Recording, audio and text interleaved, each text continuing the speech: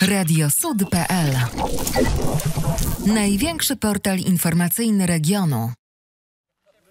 Z 40-minutowym opóźnieniem rozpoczęło się spotkanie dziesiątej kolejki klasy A pomiędzy miejscowym strażakiem Słupia a LKS-em Jankowy 1968. Na mecz spóźnili się sędziowie. Samo starcie dostarczyło wielu emocji, chociaż w poczynaniach jednych i drugich było dużo chaosu. Do przerwy kibice nie zobaczyli bramek. Wynik spotkania otworzył w 54 minucie Marcin Ogorzelski. Na 2 do 0 podwyższył w 79 minucie Tobiasz Trzęsicki. Rozmiary porażki zmniejszył gol Miłosza Szefnera 6 minut przed ostatnim ostatnim gwizdkiem sędziego. Strażak Słupia prowadzi w rozgrywkach A-klasy, mając punkt przewagi nad Opatowem.